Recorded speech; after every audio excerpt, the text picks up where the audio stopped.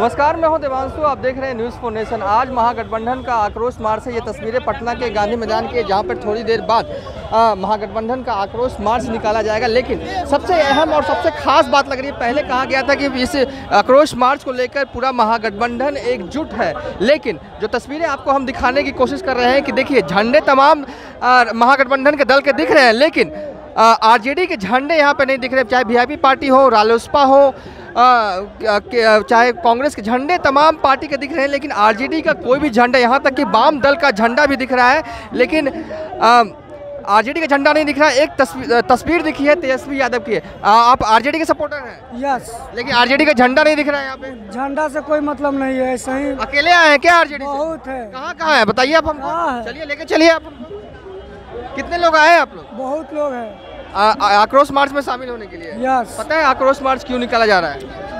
हाँ मालूम है। किस लिए?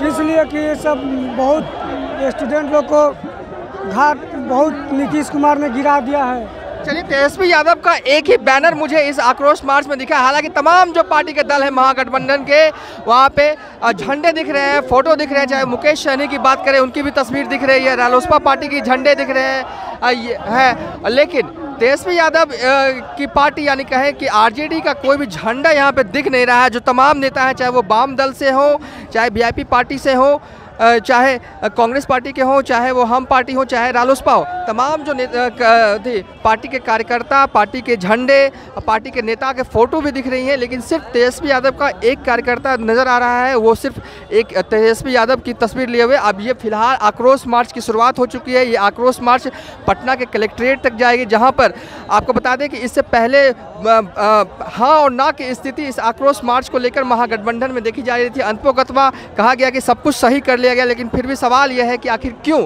आरजेडी का झंडा इस आक्रोश मार्च में नहीं दिख रहा है। सबसे बड़ा सवाल, फ़िलहाल आप देखते रहिए न्यूज़ फॉर नेशन।